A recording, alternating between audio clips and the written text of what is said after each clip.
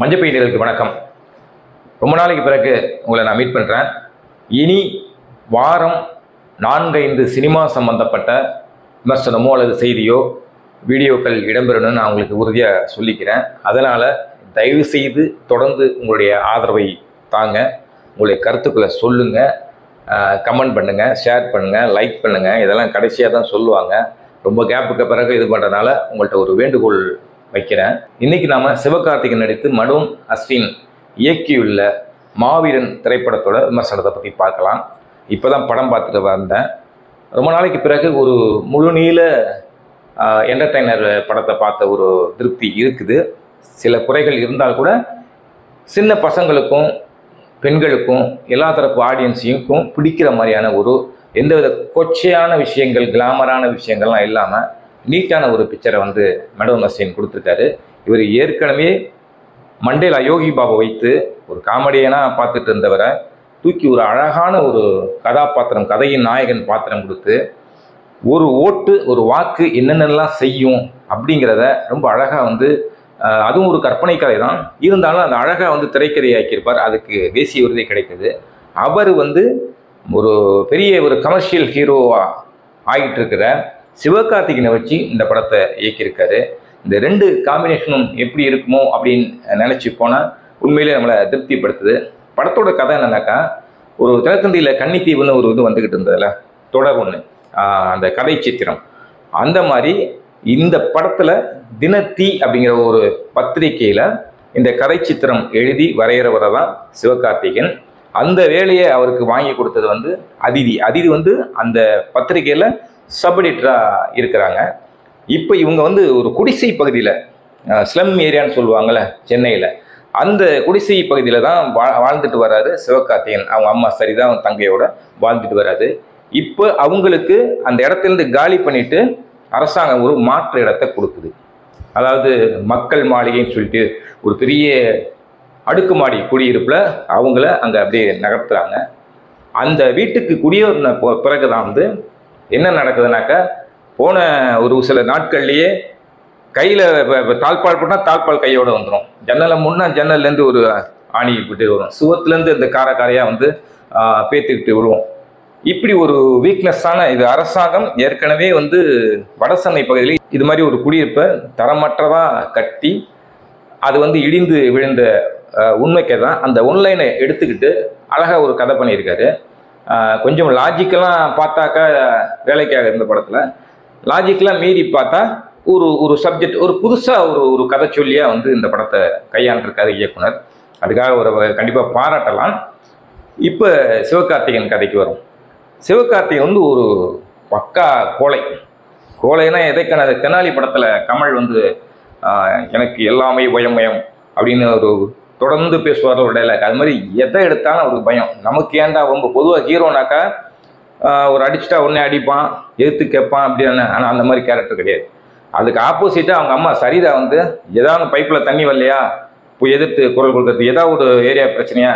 எதிர்த்து நிற்கிறது குரல் கொடுக்கறது இந்த மாதிரி ஆள் ஆள் சரிதான் அதுக்கு அப்படியே ஆப்போசிட்டாக தொடர்நடங்கியாக இருக்கார் சிவகார்த்தியும் இவருக்கு இப்போ வந்து ஒரு பிரச்சனையை சந்திக்க வேண்டிய சூழ்நிலை. அதாவது அமைச்சரான மிஸ்கின்க்கு எதிராக நிற்கக்கூடிய ஒரு சூழ்நிலை அப்படி வருது. சூழ்நிலை ஒரு கொண்டாந்து நிற்கிது அதாவது தனக்கு எதிராக யமனா இருக்கிறாரு அமைச்சர் மிஸ்கின். அவரை எதிர்த்து எப்படி போராடுறாரு?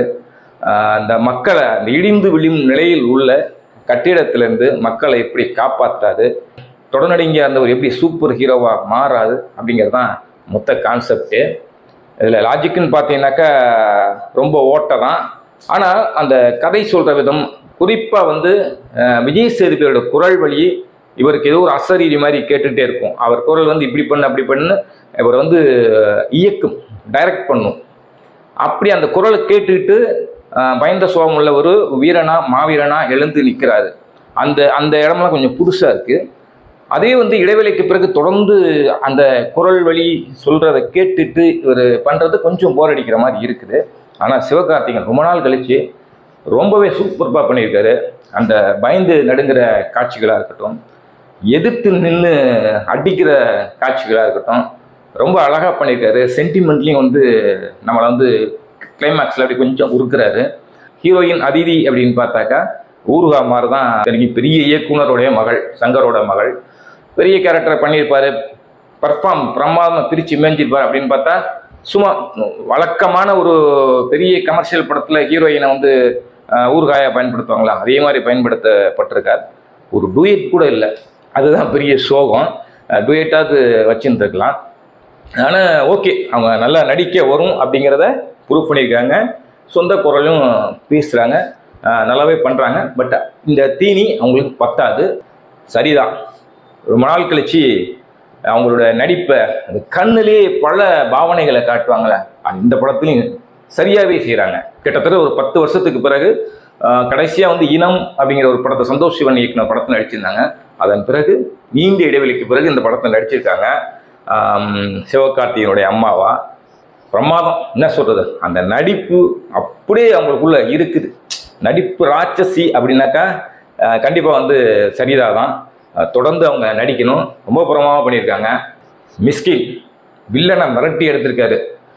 குறிப்பாக தன் கூட இருந்த வலதுகரமாக இருந்த தெலுங்கு நடிகர் சுனில் அவரை வந்து கொலை பண்ணிட்டு நீயாவது ரெண்டு வாரமாக தான் குரலை கேட்டுட்டு டிஸ்டர்பன்ஸாக இருக்க. நான் இருபத்தி ரெண்டு வருஷமாக குரலை கேட்டு குரலை கேட்டு குரலை கேட்டு டிஸ்டர்பன்ஸாக இருந்தேன் அந்த சொல்லிட்டு திரும்ப திரும்ப சொல்லிட்டு அப்பா இன்னைக்கு தான் அமைதியாக இருக்குது அப்படின்னு சொல்லிட்டு தம்மை பற்ற வச்சு ஒரு கார் மேலே ஏறி உட்காந்துட்டு தம் வேட்டியை மடித்து கட்டிட்டு பற்ற வச்சுட்டு அப்படி பார்ப்பார் லுக்கு மிரட்டுறார் சும்மா. வர்ற எவ்ரி சீன் இந்த கோவப்படுறதா இருக்கட்டும் சிவகார்த்தியன்ட்ட போய் மல்லு கட்டுறதா இருக்கட்டும் அடிக்கிறதா இருக்கட்டும் ரொம்ப பிரமாவம் பண்ணியிருக்காரு. கண்டிப்பாக மிஸ்கினுக்கு வந்து ஒரு பெரிய வில்லன் இடம் வில்லன் இடத்துக்காக பற்றாக்குறைக்குன்னு சொல்கிறாங்க மிஸ்கினை கண்டிப்பாக அதில் நிரப்பிக்கலாம். முக்கியமாக யோகி பாபு. ரொம்ப நாளைக்கு பிறகு காமெடியில் பிரித்து மெஞ்சிருக்காரு அவர் வர்ற ஒவ்வொரு சீனும் உண்மையிலே தேட்டர் வந்து பயங்கர அப்ளாஸ் பண்ணுது. அருமையாக பண்ணியிருக்காரு. ரொம்ப அப்படியே அலட்டிக்காமல் வெறும் ஒரு சின்ன சின்ன டைலாக்ல அப்படியே தூக்கி சாப்பிட்றாரு ஒரு இடத்துல அமைச்சர் மட்டும் என் கையில் கிடச்சா ஹாலோ பிளாக் கல் எடுத்து நடு மண்டையில் நச்சுன்னு அடிப்பேன். அதில் விரிசல் விடும்ல அந்த விரிசலுக்கு நான் பேட்ச் ஒர்க் பார்ப்பேன்னு சொல்கிற இடத்துல வந்து பயங்கர கிளாப் சொல்லுது. உண்மையிலே சிறப்பாக பண்ணியிருக்காரு. அப்புறம் அந்த தெலுங்கு நடிகர் சுனில் அதாவது இவருடைய வலதுகரமாக வராரு மிஸ்கினோட வலதுகரமாகவே வராரு. அவரும் நல்லாவே பண்ணியிருக்காரு. அப்புறம் அடுக்குமாடி குடியிருப்பில் சூப்பர்வைஸ் மாதிரி இருக்கிற பெஞ்சமின் வந்து ஒரு மாதிரி கோபப்படுற அளவுக்கு ஆடியன்ஸ் கோபப்படுற அளவுக்கு ஒரு ஒரு வில்லத்தனத்தை நல்லாவே பண்ணியிருக்காரு. சமீப காலமாக அவர் நிறைய படங்கள் நடிச்சிட்டு வர்றாரு உண்மையிலே அவருக்கு பெரிய எதிர்காலம் இருக்குது. ஒளிப்பதிவு நல்லா வேணு ஐயனாருங்கிறவர் பண்ணியிருக்காரு. நல்லா பண்ணியிருக்காரு. இசை பார்த்தா பாடல்கள் அப்படி ஒன்றும் மனசை வந்து டச் பண்ணலை. பின்னணியில் ஓகே தான். ஆனால் இன்னும் வந்து தேரணும் ஓவரால் இந்த படத்தை பார்த்தா ஒரு சின்ன ஒன்லைன் அதுக்கு இப்படி ஒரு திரைக்கதையை எப்படி யோசிச்சார் அப்படிங்கிறதே ஆச்சரியமாக தான் இருக்குது புதுசாக தான் இருக்குது. அதாவது டெம்ப்ளேட்னு பார்த்தீங்கன்னா பழசு. அதாவது ஒரு ஒரு கோழை ஒரு சூழ்நிலை வந்து அவனை வீரனாக மாற்றுது இதுதான் கான்செப்ட் பட் இவர் சொல்கிற அந்த நெரேஷன் வந்து ரொம்பவே புதுசாக இருக்குது நல்லாவே இருக்குது